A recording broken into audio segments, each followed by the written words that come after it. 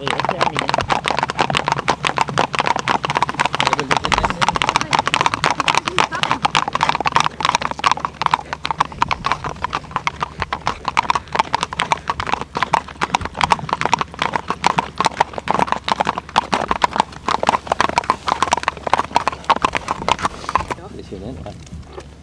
Vi kan da lige tage en lille tur derhen og så. Det bestemmer I.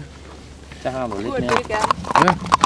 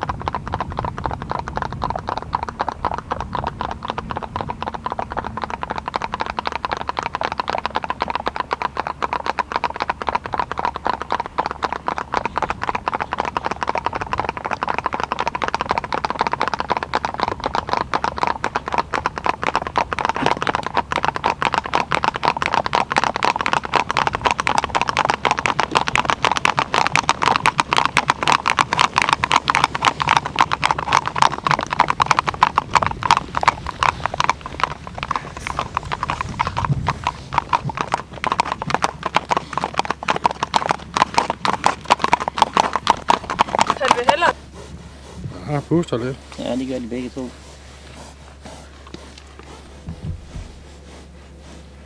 Ja.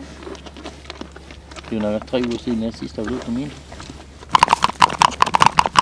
Hundene bliver her.